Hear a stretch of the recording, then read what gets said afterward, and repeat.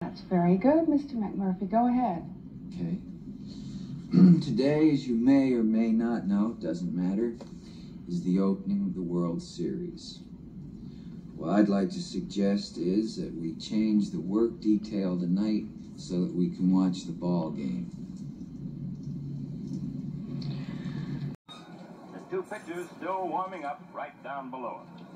The second game of the 1963 World Series is being brought to you from Yankee Stadium. A terrific day. The chief voted. Now, will you please turn the television set on? Mr. McMurphy, the meeting was adjourned and the vote was closed. But the vote was 10 to 8. The chief, he's got his hand up. Look.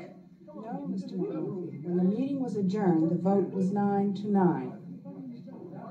Oh, come on. You're not going to say that now. You're not going to say that now. You're going to pull that henhouse shit now. When the vote, the chief just voted, it was 10 to 9. I want that television set turned on right now.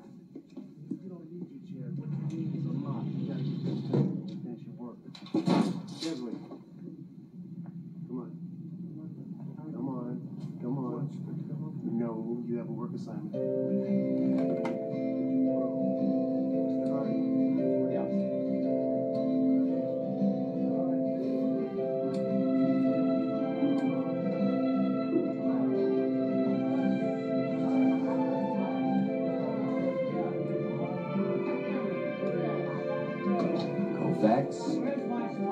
Koufax kicks.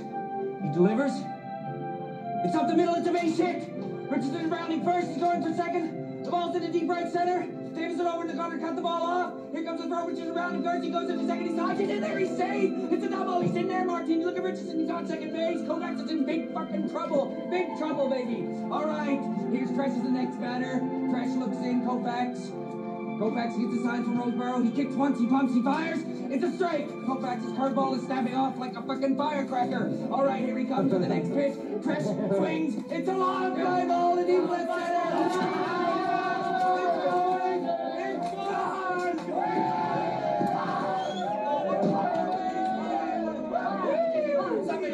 fucking wiener before I die.